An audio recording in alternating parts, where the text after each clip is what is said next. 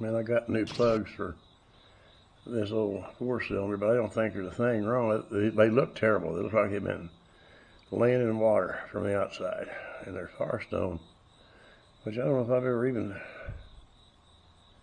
seen any of them or not before. But like I said, the inside, they're not, they don't look bad at all. It's not burned. It's nothing. You know. And this one here, it's a little bit wetter, but same thing. Inside's good and clean. I didn't clean these things. That's just the way they came out of the motor.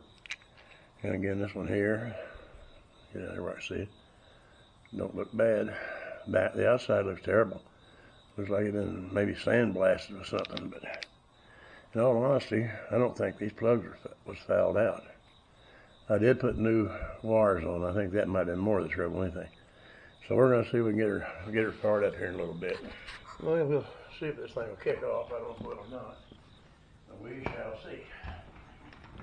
Have to get some gas for it. Oh, get down here. Oh, get up here. Let's see here. Choke it one time or two.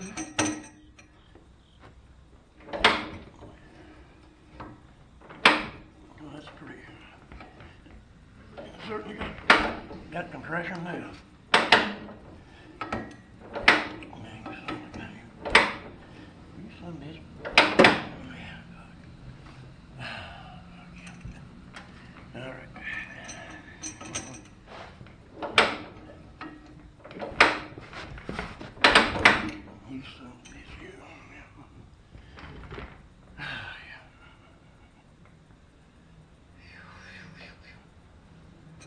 Yeah, I guess I better choke a little more.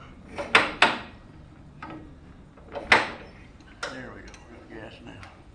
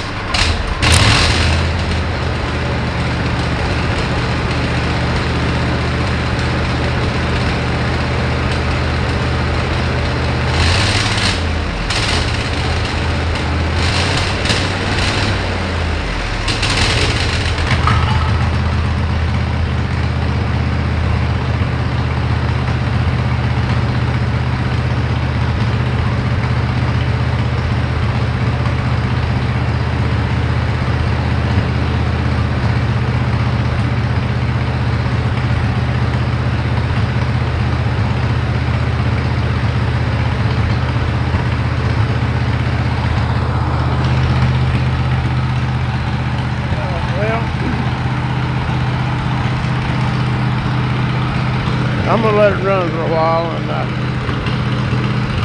kind of let it get more limbered up. It may run out. It, I don't know what's the matter with it. Actually, run out of gas as far as I'm. Probably the carburetor, but we'll see. Well, overall, it's running pretty smooth. It's uh, still kind of missing once in a while. I don't know why that is, but uh, it was smoking quite a bit. I put some of that sea foam. I don't think I don't have much faith in it, but anyway, I put that in there, and it may have been the smoke.